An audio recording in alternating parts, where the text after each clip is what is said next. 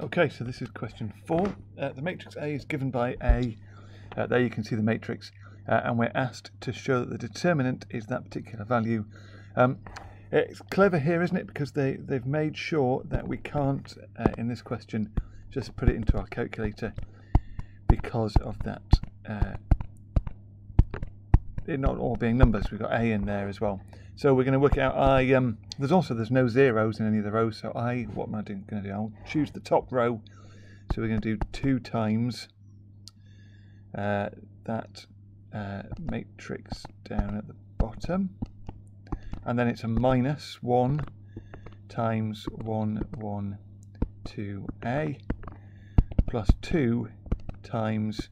Uh, remember what we're doing here is we are we're, um, we're thinking of the 2 and that gives us that matrix down there uh, as the one that we're looking at. So that is 2 minus 1 sorry 1 minus 1 2 2 uh, okay now we need to work that out.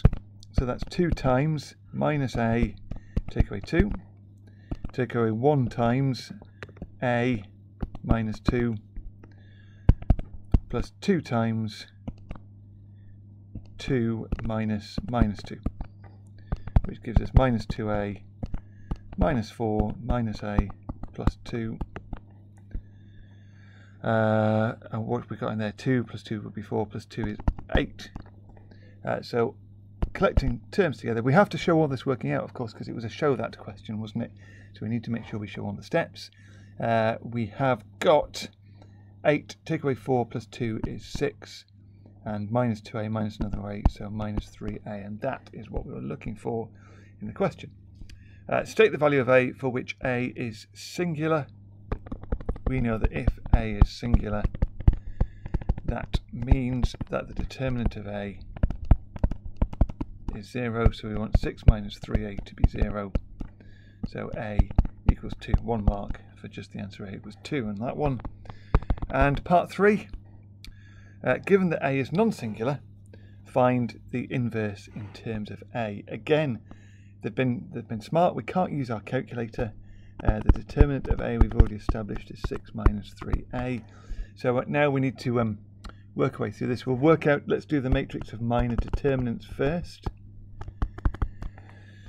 Uh, so that is, uh, what we've got there, we've got minus A, take away 2,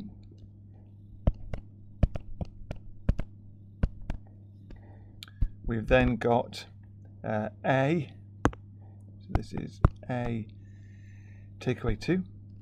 So put A takeaway 2 in there as well. Oh, hang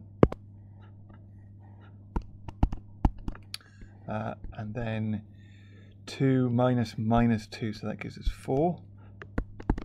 The next row, we've got 1A takeaway 4. In the middle there, we've got 2A takeaway 4. And uh, at the end we've got two twos are four, take away two is two.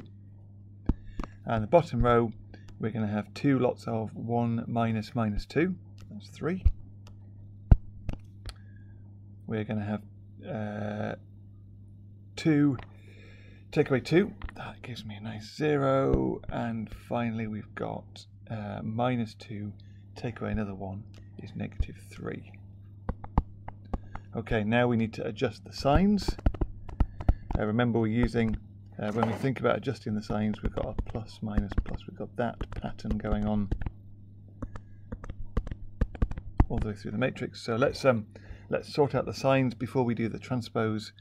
Uh, this is going to give us uh, what we've got, a plus 2, 2 minus a, oh hang on, changing everything. Be careful.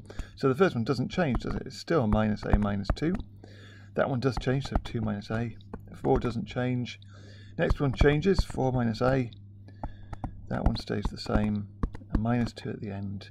Bottom row, that doesn't change. The 0 will become minus 0.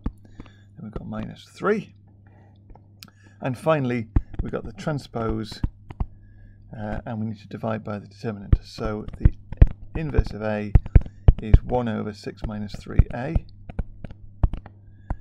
And if we transpose this, that is minus a minus 2 2 minus a, 4. That's the top row becomes the first column.